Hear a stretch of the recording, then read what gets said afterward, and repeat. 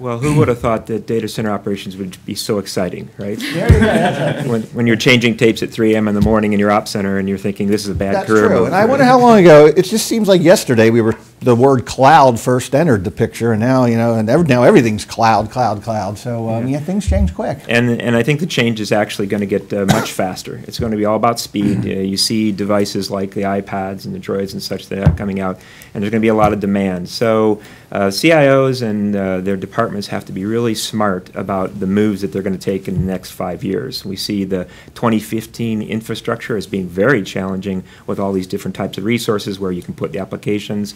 We've got a lot of applications today that we've got to move, refactor, re-engineer, and we're going to have more applications building at a very rapid pace. So we see something called the hybrid enterprise at Unisys, where you're managing all these resources, and you have to focus on three strategies. Looking at applications, how do you attribute them? Where should they go? How should they run? Should they be divided? Should they be consolidated? Should they just run with somebody else?